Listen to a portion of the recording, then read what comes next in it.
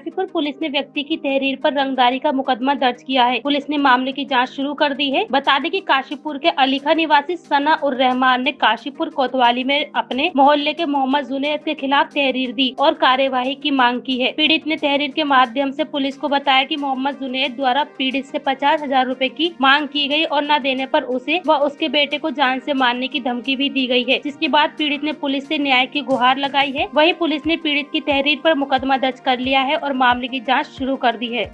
उर्फ सन्नू कहते हैं मुझे जी जुनेस मैं अपने घर से बाहर निकला जुनेस सिद्दीकी ने मुझसे पचास हज़ार रुपये की मांग करी और पचास हज़ार के साथ में फिर मैंने मना करा उससे बोला चली गई तो मोहल्ले के दो चार आदमी निकल कर आ गए तो उसने जान से मारने की धमकी दे दी मुझे और फिर बाद में ये कहा नगा तुम जो है मुझे पचास हज़ार रुपये नहीं दिए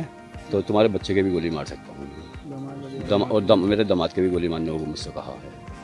और तो मेरा पार्टनर है ये नहीम ये इंजेक्शन मेरे घर लगाने आए थे उन्होंने कहा तुम जो है पार्टनर नंबर दो का काम करते हो ये बोले वो मुझसे तहरीर हमने दे दी है और इस पुलिस ने उठा भी लिया उसे हाँ पुलिस ने मुकदमा दर्ज कर दिया है काशीपुर कोतवाली में एक रंगदारी मांगने का मामला सामने आया है इस पर अभियोग पंजीकृत कर लिया गया है अभी इसमें जांच चल रही है जांच के बाद इसमें हम अग्रिम कार्रवाई करेंगे